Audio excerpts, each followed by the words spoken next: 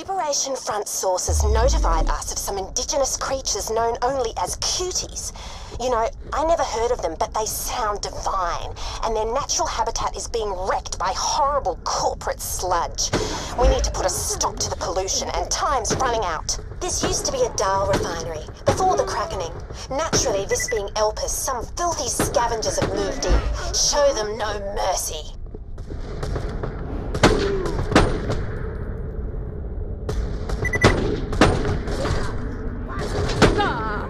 Didn't even... Oh, yeah, you really did some damage there.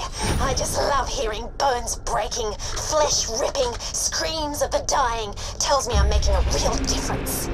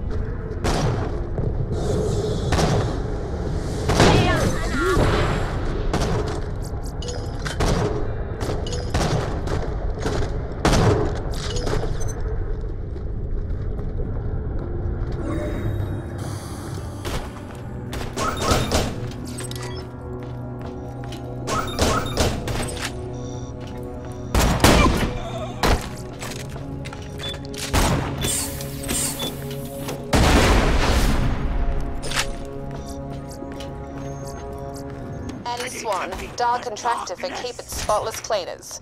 If Mama could see me now. Still, cash is short. Emily's sicker than ever and the universe isn't overflowing with free medical care. Still, picking up after Dahl's fittest and finest lets me sniff out some juicy nuggets of camp gossip. Beats reading a book. Someone's out there though. I can feel eyes on me. Have I got a stalker?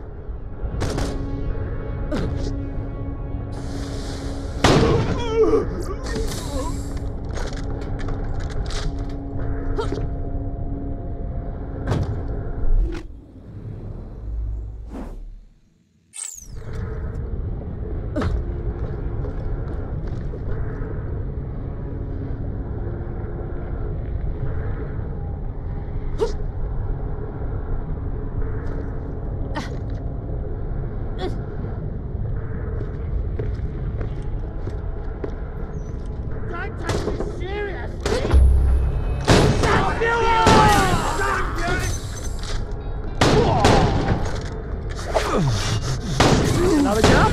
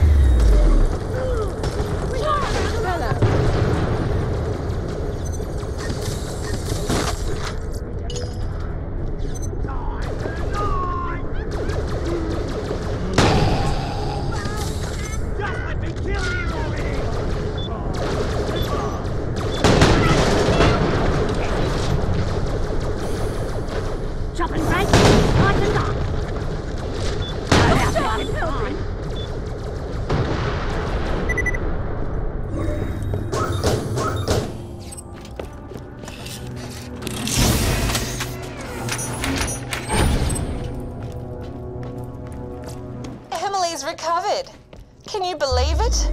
A real miracle. Nurse Nina said some kind of purple light lit up her med bay an hour ago. Then my little moonbeam woke up. I've chucked my job and used the rest of my savings to buy two tickets off Elpis. Emily and I are off to Pandora to start afresh.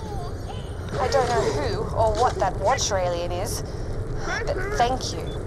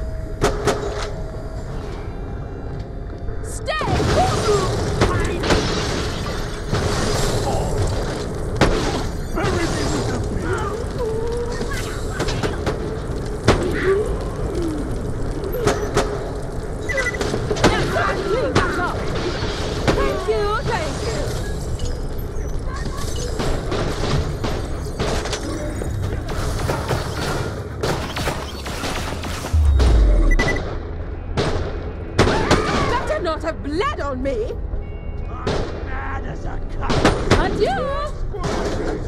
You got me.